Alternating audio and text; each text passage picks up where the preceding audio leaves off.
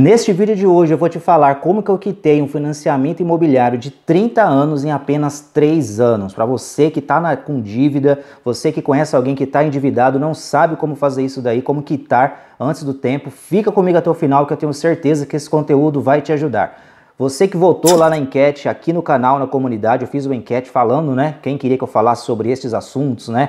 É, financeiros, né? Investimento, mais básico assim também formas né, de ter uma, um controle financeiro melhor, né, uma educação financeira. Agradeço aí você que votou, tá aqui ainda na comunidade, no nosso canal e também lá no nosso grupo no Telegram, sua meta, soluções online. Entra lá no nosso grupo se você não tá. Lá tem material gratuito também, tem a enquete e tem o material grátis de hoje, do vídeo de hoje, onde eu estou compartilhando com você este e-book aqui que você pode fazer o download gratuitamente e aprender tudo isso que eu vou falar aqui para você. Talvez você viu vídeos aí na internet, o pessoal falando, ah, tem que cortar até o cafezinho para conseguir quitar alguma coisa, para conseguir sair das dívidas. Ah, tem que desligar a TV da tomada porque aquela luzinha lá consome 30 centavos. Não é isso que eu vou falar aqui nesse vídeo de hoje. Eu vou te falar exatamente o que eu fiz. Eu financiei um imóvel alguns anos atrás, claro. Em 30 anos eu consegui quitar esse imóvel em 3 anos, tá? Então não é falácia, eu estou aqui, inclusive, eu guardei o contrato até hoje, tá aqui, ó, Caixa Econômica, aqui a construtora Cal Empreendimentos, tá? Então você pode ver aqui, ó, vou até compartilhar com você para você ver. Tá aqui o número, tanto de prestação aqui, conforme você pode ver, na última folha aqui, ó, 30 anos para poder pagar. Tá ali, ó, aqui, não sei se dá para você ver, mas aqui é a última parcela, então 300 meses. Então, você vai ver que o que eu vou falar aqui para você não é algo que eu ouvi alguém falar, ou que eu vi um vídeo lá no YouTube alguém falando. É algo que de fato eu passei por isso e eu vou te explicar como que eu fiz para conseguir quitar esse financiamento sem precisar deixar de comprar é, coisas básicas, né? Então, muita gente fala muita coisa aí na internet, eu vou te passar aqui a minha opinião. Se você gosta desse assunto, se inscreva no canal. Aqui neste canal nós falamos sobre e-commerce, marketing digital, tem vídeos diferentes também, motivacionais, essa parte mais financeira também. Afinal, não basta apenas você ganhar dinheiro pela internet se você não saber o mínimo, né? Eu conheço pessoas que ganharam muito, muito dinheiro através da internet e de uma hora para outra perderam tudo porque não souberam administrar. Então, eu peço para você, compartilhe esse vídeo com um amigo no WhatsApp, tem uma setinha aqui embaixo, clica nessa setinha, compartilha no WhatsApp com um amigo que tá de repente com financiamento aí também, tá para pagar em 30 anos aí, não sabe o que fazer, ou outro tipo de financiamento, dívida, eu vou falar para você neste vídeo de hoje o que eu fiz. Mas antes disso, para você que não me conhece, meu nome é Rodrigo Vitorino, eu trabalho pela internet desde 2006, eu era um vigilante que ganhava um pouco mais de 960 reais por mês aproximadamente, e hoje eu tenho uma empresa que já faturou múltiplos sete dígitos trabalhando aí pela internet de maneira honesta, de maneira sólida, crescente, ano após ano. Então, é, talvez você chegou aqui, ah, mas você é especialista em finanças, você é guru de não sei o que. Não, estou falando para você, neste canal conto a minha experiência, eu trabalho com marketing digital, trabalho com e-commerce, tenho vários negócios hoje, mas isso nem sempre foi assim. Quando eu financiei esse meu primeiro imóvel, eu era um vigilante, como eu estava falando para vocês, e eu ganhava algo em torno de 960 reais, um vale-refeição de mais ou menos 300 reais. Então, o que, que eu tinha que fazer? Eu não tinha como comprar, eu queria, na época, né, eu estava para casar e a gente não queria, óbvio, minha esposa estava desempregada, né, só tinha eu trabalhando como vigilante e eu não tinha condição de comprar um imóvel à vista, obviamente, por isso que muita gente acaba fazendo financiamento. E também é, eu não tinha, não queria né, morar de aluguel. Então eu tinha um dinheiro lá de entrada, dei uma pequena entrada e utilizei ali também recursos né, do fundo de garantia e consegui financiar o resto em 30 anos aí para pagar. É claro que muita gente me criticou na época, né? Ah, muito tempo, 30 anos, você vai passar o resto da vida fazendo isso daí, é melhor você construir em tal lugar, ou é melhor você alugar um imóvel, enfim, as pessoas falam muita coisa, mas eu sempre tive em mente, desde quando eu casei, na época, minha esposa e eu, nós queríamos ter o nosso próprio canto, nosso próprio local para morar e a gente acabou fazendo esse financiamento. Então, muita gente fala para você que você precisa fazer isso, fazer aquilo. O que que eu fiz? É importante você entender. Você vai baixar aqui, ó, este e-book. Eu vou deixar é, lá no nosso grupo no Telegram. Vai lá no nosso grupo no Telegram, tá disponível esse e-book aqui. É, você pode acessar lá sua Meta Soluções Online no Telegram ou se você digitar aí no seu navegador rodrigovitorino.com.br/telegram, você já cai direto no grupo. Então, basicamente, né, tem esse e-book aqui para você você direto ao assunto aqui. Estou explicando exatamente aqui o que eu fiz, mas eu quero já pular para essa página aqui, a página 2. Três passos para você quitar aí as suas dívidas, quitar o seu financiamento. Muita gente, quando chega nessa, nessa parte, ah, eu preciso quitar, mas eu não sei o que, que eu faço. Muita gente fica preso só nisso daqui, ó, na economia. Então, em vídeos aí no YouTube, você vai ver pessoas falando que ah, você vai ter que desligar a TV da tomada, porque aquela luzinha consome 30 centavos ali por mês, cada aparelho vai acabar consumindo isso também, vai tirar a TV a cabo lá, vai desconfigurar tudo e deixa tudo desligado é, economia, não pode tomar café da manhã mais, não pode comer mistura, não pode fazer mais nada. Bom, eu particularmente não fui por esse caminho. O que, que eu fiz? Eu separei aqui desse pequeno gráfico aqui simples para todo mundo entender. Três passos para sair das dívidas. Três passos. Primeiro passo: economia, educação financeira e geração de renda. Como que eu fiz isso daqui trabalhando como um porteiro ganhando 960 reais por mês? Ué, o que, que eu ia economizar mais? O que, que eu ia ser, o que eu ia saber de educação financeira naquela época, que a internet já era um pouco mais complicada, não era igual hoje, né? Onde você assiste um vídeo no YouTube como esse, até mesmo dentro do metrô, de um ônibus, você consegue assistir. Na minha época, eu não conseguia fazer isso, eu tinha que ficar lendo e-book, outras coisas, que era uma época completamente diferente. E a geração de receita, como que alguém do zero, que como que alguém que vai é, é um empregado, está endividado, vai gerar receita de que forma? Então, vamos lá. A primeira coisa aqui, vamos começar pelo mais fácil, que é o mais básico que todo mundo fala, a economia. O que que eu fiz? Eu comecei a economizar. Muitas coisas, né, que muita gente fala, eu não fiz. Eu não fiquei tirando a TV da tomada, não fiquei deixando de tomar café, mas uma das coisas que eu fiz foi parar de usar o vale refeição que a empresa me dava. Então, ao invés de eu utilizar o vale refeição, eu vendia lá no centro de São Paulo né? O meu apartamento era no Itaim Paulista, pessoal. Muita gente tem dúvida, né? Na época eu morava no Itaim Paulista, Jardim Camargo Novo, se você é dessa região, Rua Antônio João de Medeiros, número 758, condomínio Parque do Arvoredo. Era lá a minha primeira moradia. É o extremo do extremo leste de São Paulo. Né? E o que, que eu fazia? Eu comecei a levar marmita. Então, eu levava marmita, ao invés de pegar, utilizar o Vale Refeição para ficar comendo lá nos, nos restaurantes ou no self-service da vida que tinha lá no centro, trabalhava na Consolação. Eu vendia o Vale Refeição e levava marmita. Isso me possibilitou pegar esse Vale Refeição para ajudar no, no, pagamento das minhas parcelas, né? nas parcelas comuns ali, o meu compromisso ali todo dia, 14 mais ou menos, eu tinha ali a prestação para pagar. Então eu vendi o Vale Refeição ali, isso não é algo muito legal, né? As empresas não gostam que faz isso, mas enfim, eu ia lá, vendia, porque senão não ia conseguir, não ia sobrar nada para mim, um salário de 900 reais, 900 e poucos reais, né? Desconta aí a condução e outras coisas. Se eu tirar desse dinheiro para pagar a prestação não ia sobrar muita coisa. Talvez você se encontre nessa situação. Então, comecei a levar marmita, economizei nisso daí. Então, a primeira coisa que você tem que entender é o seguinte: a economia. Se você consegue fazer isso, em vez de você é, fazer, utilizar o seu vale refeição para comer lá no restaurante, leva marmita. Aí você vai economizar e vai sobrar dinheiro para que você possa é, abater na sua dívida, quitar o seu financiamento, alguma coisa nesse sentido.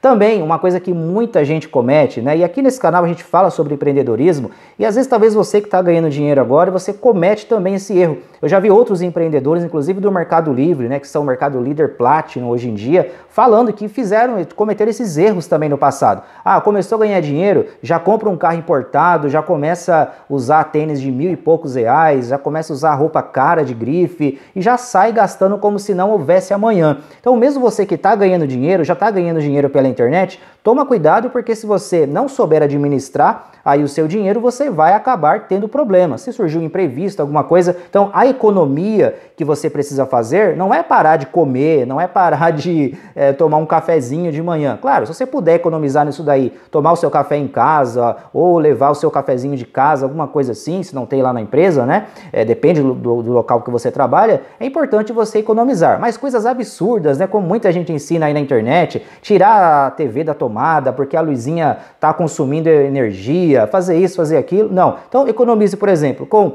evite comprar roupas caras, evite ficar trocando de celular o tempo todo, né? Eu não fazia isso, comprava um celular ficava com o celular 3, 4 anos e eu sou assim até hoje, mesmo tendo condição de trocar de celular frequentemente, eu não faço isso. Eu estou gravando esse vídeo justamente com o celular para provar isso para você. É um Samsung J5, se eu não me engano, e eu estou gravando ele, utilizando esse vídeo aqui para gravar. Eu tenho uma câmera ali, T5i da Canon, mais de, sei lá, mais de 4 mil reais uma câmera daquela, mas eu estou fazendo questão, estou gravando com o meu celular para você ver. E eu não ficava trocando o celular. Então, a economia você precisa fazer, isso é fato, tá bom? É o primeiro ponto aí, mas não vai se sacrificar também. Mas evite gastar dinheiro à toa. Se você, por exemplo, ah, eu quero quitar o meu financiamento. Eu vou no McDonald's aí todo fim de semana. Uma família, por exemplo, se você vai, você, sua esposa, dois filhos aí, você vai no McDonald's, gasta lá, vai gastar no mínimo 120 reais. No mínimo, pelo menos aqui no estado de São Paulo é assim, né? Eu acredito que seja tabelado esses preços. Mas se você é, fizer isso todo mês, imagine, inclusive aqui no e-book, né, eu cito aqui uma parte, né, eu falo exatamente sobre isso, para que você possa entender também. Se você pega é, e fica fazendo refeição fora de casa, olha só, você vai gastar um dinheiro assim absurdo. Você comendo aí, toda vez que você for comer é, fora de casa, né? Ah, vou lá no restaurante, eu vou lá comer no McDonald's, ó. 120 reais. Agora imagine se você todo fim de semana você faz isso. Vai dar algo em torno de 480 reais por mês. Se você fizer isso todo mês, em um ano, dá mais de 5.760 reais. Então eu não fazia isso. Eu já cortava esses gastos assim porque eu queria quitar o meu imóvel, né? Que no caso era um apartamento financiado em 30 anos. Então é importante você que tem uma meta, você quer sair das dívidas, quer viver melhor, você precisa, obviamente, ter isso em mente. Você não pode sair gastando dinheiro como se não houvesse amanhã. O segundo ponto aqui, a educação financeira. Como eu falei, você pode ser Mercado Líder Platinum, você pode ser Hotmart Black lá na Hotmart, você pode ganhar milhões de reais. Mas se você não tiver uma educação financeira, você vai se dar mal. Eu conheci pessoas na época da Telex Free, você deve lembrar, Telex Free, Multiplique, pessoas que estavam andando de Camaro, começaram a ganhar dinheiro na Multiplique começaram, começou a andar de Camaro amarelo. A Multiplique quebrou, o que aconteceu? Essas pessoas tiveram que vender o carro.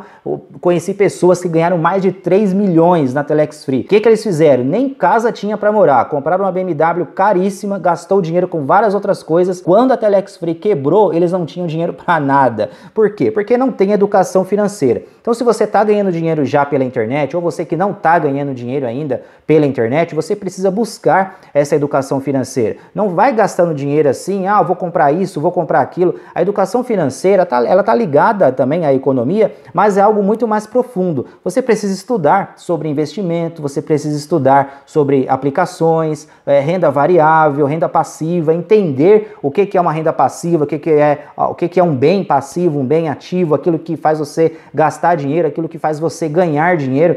Você, seja você que é um assalariado, você, por exemplo, ah, Rodrigo, é, eu ganho 900, ganho um salário mínimo. O salário mínimo no Brasil hoje deve ser algo em torno de R$ 1.200. Se você se eu não me engano, né? Se você ganha isso daí, ah, como que eu vou fazer? Como que eu vou investir? Eu vou pegar as minhas parcelas e vou amortizando. Não, não faça isso. É melhor você, às vezes, investir. Tem vários tipos de investimento com risco moderado, por exemplo, que você começa com 100 reais. Então, aqueles 100 reais que você gasta lá no McDonald's, você consegue pegar e investir, por exemplo, em um fundo imobiliário, que é algo em torno de a partir de 100 reais, e deixar isso rendendo lá, e você estudando sobre isso, buscando conhecimento para isso, e aí você vai fazer o seu dinheiro trabalhar para você. Então, eu não consegui quitar meu apartamento assim de uma hora para outra, sem ter uma educação financeira, sem poupar dinheiro. Eu não, não fazia amortização mas eu poupava. Eu trabalhava e poupava aquilo que sobrava, eu ia economizando, ia poupando, porque a minha, o meu objetivo sempre era da seguinte forma: juntar um capital para poder quitar aquele meu financiamento. E o terceiro ponto aqui, que é o principal e é o assunto principal aqui do canal, é o que? Geração de renda.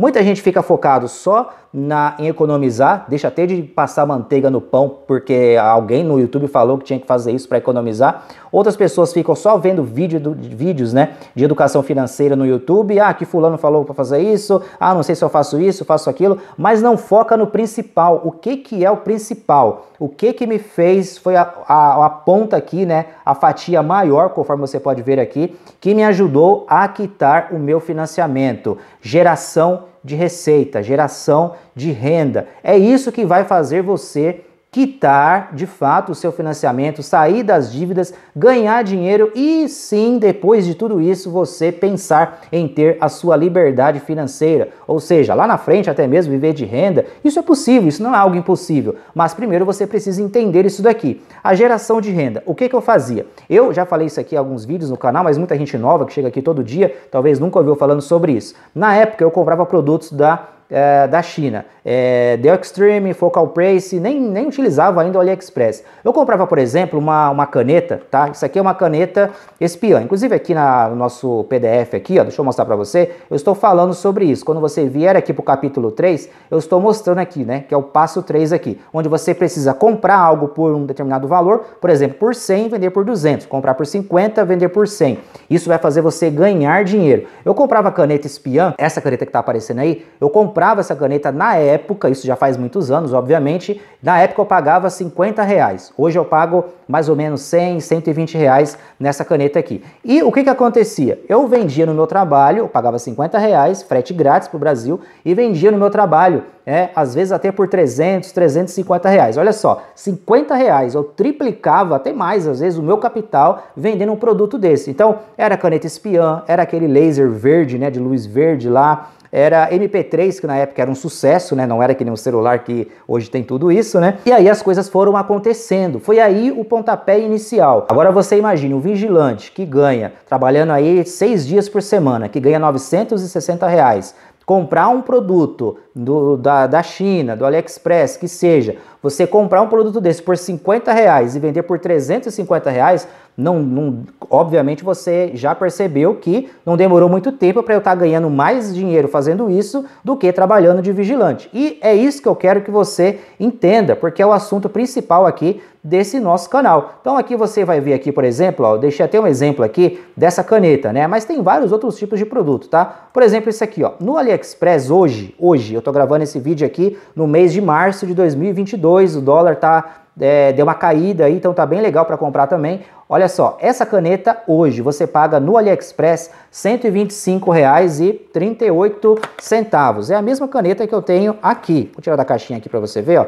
Ó, é a mesma caneta, tá? Vem no saquinho assim, vem aqui o carregador, vem aqui as pontas, né, da caneta e vem aqui a parte do, do USB para você espetar aí no seu computador, tirar as fotos também, etc. Bom, então você pode ver ali, ó, R$ 125,38. Você pode comprar uma caneta dessa, vender pelo dobro do preço. Você pode vender para amigos, você pode vender para colegas de trabalho. Rodrigo, eu sou o tipo de pessoa que não gosto de me expor, não quero que parente chato fique sabendo o que eu estou fazendo, não quero saber de nada disso. Eu sei que é chato mesmo, tem parente que é muito mala mesmo. Mas aqui, ó, se você acessar aqui, no Mercado Livre, essa mesma caneta, hoje, ela está sendo vendida aqui por 288 reais, 52 unidades vendidas conforme você pode ver aqui. Ou seja, é algo que você pode, como pessoa física, pagar 125 reais. É uma saída daquela do Mac que você economizou. Igual eu, eu foi exatamente isso que eu fiz. Eu economizava, não, não vou no Mac hoje. Em vez de pegar esse dinheiro,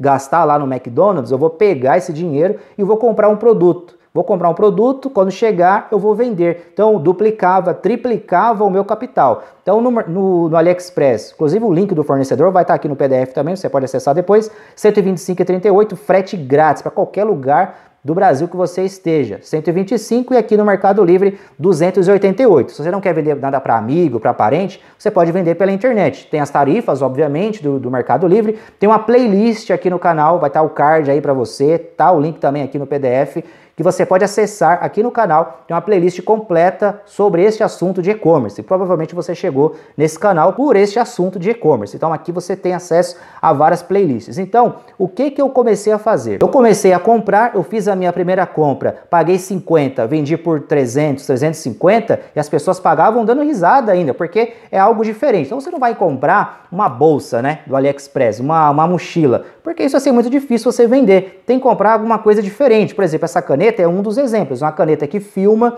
é uma caneta que tira foto, grava, é, enfim. Então, então dá para você ganhar um bom dinheiro fazendo isso. Aqui, inclusive, eu deixei aqui ó, um outro exemplo para você ver. Esse rádio relógio. É um rádio relógio com câmera. Ele filma, né? Deixa no ambiente aí, na sua casa, no escritório, ele vai filmar aquilo que está acontecendo.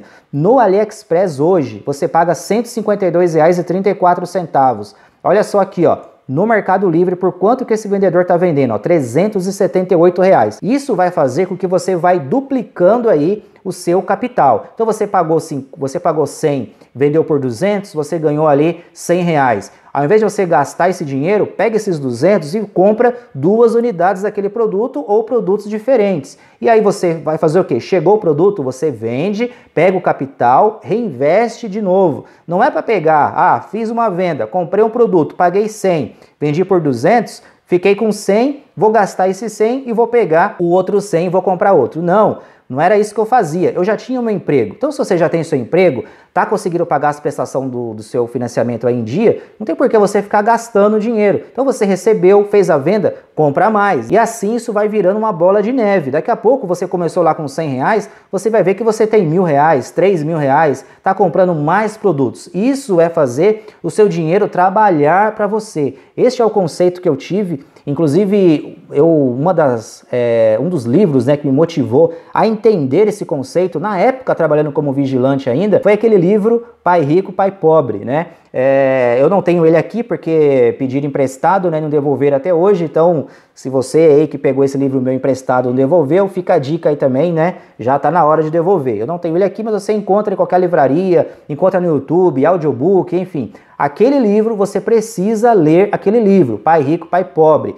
Aquilo ali, quando eu trabalhava de, de, vigilante, eu ficava lendo ele nas horas vagas ali, e tinha pessoas que passavam e davam até risada. Nossa, um, um vigilante ali lendo um livro desse que parece que é algo só para gente rica, somente para quem é, é, empresário, é economista, é investidor. E não, eu como vigilante ficava lendo aquele livro ali. Às vezes a pessoa passava assim, ficava meio assim debochando, né, e tal, mas, né, quem tá rindo agora, né? Graças a Deus a gente, né, saiu aí disso tudo e hoje vive tranquilamente aí, graças a Deus e muito trabalho. Então, se você não lê esse livro, leia. Então, basicamente, essa é uma das formas que você pode gerar renda, comprar um produto por um preço, vender por outro, seja no Mercado Livre, seja na Shopee, seja fora da internet, é uma das melhores formas. Eu faço isso até hoje porque foi isso que eu fiz lá no passado e me ajudou a quitar o meu financiamento de mais de 30 anos que eu tinha que pagar isso daí e que tem mais ou menos aí 3 anos. Então, isso é algo muito real e algo de fato é, que você também pode fazer. A outra forma que me ajudou, né, geração de renda, foi através dos cursos digitais. Eu inclusive deixei aqui alguns exemplos, né? Ó, isso aqui, ó, um, uma venda aqui pela plataforma Hotmart de um produto meu, né, onde eu ganhei ali, ó, R$ 32,34. Um e-book sobre como tocar violoncelo. Se você quiser aprender isso daí, nesse e-book aqui eu tô contando tudo isso aqui passo a passo, mostrando aqui inclusive para você, ó, ganhos aqui, 50 reais, R$ reais e assim por diante. E em 2012, vou até pegar aqui, no e-book eu estou explicando, tá? Se você quiser se aprofundar mais sobre isso, vai lá, baixa esse e-book aqui que eu estou detalhando lá para você. Mas olha só, esse, esse print aqui de tela, isso daqui foi dos meus ganhos apenas de um dia, 15 de 10 de 2012. Nessa época aqui, eu ainda morava nesse apartamento, estava quitando o meu apartamento. E eu fui desenvolvendo essas fontes de renda, tanto com produtos físicos e também com produtos digitais, e comecei a fazer uma venda. Em abril, eu não lembro exatamente o ano, mas foi em um feriado aí do mês de abril, se eu não me engano, né? É, não sei se foi Tiradentes, né? Acho que é dia 21 de abril, Tiradentes, se eu não me engano. Tô falando aqui a real para você, tá? Eu não ensaiei para falar isso aqui, não. É, o que que eu fiz? Eu tinha que fazer hora extra como vigilante. Ao invés de eu fazer hora extra, eu falei, não, eu estou já estudando algumas formas de ganhar dinheiro pela internet, eu vou ficar em casa nesse feriado prolongado, deixei o meu colega fazendo hora extra, Douglas, se estiver assistindo aí esse vídeo, ele é inscrito aqui no canal, e falei para ele, ó, pode fazer hora extra que eu vou me dedicar ao meu negócio aqui na internet. E fiquei o feriado todo, comprei o domínio, instalei lá o site, fui fazendo tudo certinho e criei meu primeiro mini site para vender um produto meu, um produto próprio meu. Pode ser um produto que você mesmo cria, pode ser um produto PLR, que é um produto licenciado, onde você tem o direito de vender aquele produto e assim por diante. O que, que eu fiz? Criei o site e deixei tudo certo, olhei, estava no ar, fiquei emocionado porque deu trabalho. Quem não tem experiência, né, acha que é algo um bicho de sete cabeças. Eu não tinha nenhum instrutor, para me ensinar isso de fato do zero, fui fazendo ali, fui vendo né, e-books que eu tinha na época, é, enfim. Então, o que, que aconteceu? Eu achei que eu ia fazer a primeira venda assim já no dia seguinte, e não foi nada disso que aconteceu. Meu site ficou no ar, passou o primeiro dia, segundo dia, terceiro dia, nada. No vigésimo dia só que foi sair a primeira venda. Isso, claro, me deixou assim bem emocionado, porque eu falei, poxa, funcionou Então, recebi ali, peguei meu celularzinho LG Scarlett, é um celular antigo da LG, se você tem menos de 37 anos, você nem vai saber talvez o que, que é isso. E ali eu ouvi no meu celular, pelo PagSeguro, uma venda. Eu falei, poxa, legal, tô no caminho certo. Agora de fato eu tô ganhando dinheiro. Olha só, além das vendas de produtos físicos, estou ganhando dinheiro também aqui com esses tipos de produto. E assim foi. Depois de, do, da primeira venda, depois de 20 dias que saiu a primeira venda, aí demorou mais uns 3, 4 dias para sair a segunda venda. E aí eu fui trabalhando, melhorando o SEO, criando o backlink, né, que é uma coisa mais técnica que dentro do Clube Sua Meta eu ensino tudo isso, né, toda essa parte de criação, configuração, tudo certinho. Se você quiser fazer parte do clube, o link vai estar aí na descrição para você também. E aí as coisas foram acontecendo. Quando eu estava aqui, ó, na, no ano de 2012, nesse dia aqui, somente nesse dia eu já tive aqui uma renda aqui, conforme você pode ver, de R$ 501,80, faturamento praticamente líquido, ok? Aqui eu já tinha aberto o meu MEI, né? Tinha que abrir o MEI e aí a gente foi, né, desenvolvendo o negócio e esse ganho aqui ele foi se mantendo praticamente todos os dias, depois de praticamente depois de um ano mais ou menos, eu comecei a ter esses resultados aqui por dia. E aí, claro, eu comecei a desenvolver os meus negócios pela internet, fui crescendo cada vez mais. Mas isso foi um dos fatores principais, a geração de renda. Então, se você está começando agora, você tem aí um financiamento, acha que é impossível você quitar isso daí, não fique só ouvindo que você vai ter que parar de passar a manteiga no pão, que você vai ter que tirar a TV da tomada. A coisa que vai fazer você ganhar dinheiro de fato é criar fontes de renda. Pode ser isso aqui, porque foi o que eu fiz, mas você pode ter outras fontes de renda. Se você quiser, você pode ter um outro emprego, você pode fazer bolo no fim de semana, você pode cortar grama, você pode carpinar um terreno, pode fazer qualquer coisa. Talvez para você o trabalho pela internet é mentira, é enganação, ou você não leva jeito para isso, ou sei lá, qualquer outra coisa que você possa pensar. Mas tem jeito de você conseguir quitar o seu financiamento antes. E foi isso que eu fiz, mais ou menos três anos e pouco, quitei o meu financiamento, fui lá na Caixa Econômica Federal, quitei tudo, me livrei da conta também que tinha criado lá, porque pagava uma taxa mensal, e aí deu tudo certo, graças a Deus. E de lá para cá a gente vem criando, desenvolvendo fontes de renda pela internet e tudo deu certo. Então, o meu objetivo nesse vídeo de hoje é falar para você que tem jeito, desde que você siga esses passos. Vai lá no meu grupo no Telegram, baixa esse e-book lá, eu tenho certeza que vai te ajudar. Compartilha esse vídeo com um amigo, compartilha esse e-book também com um amigo que está precisando.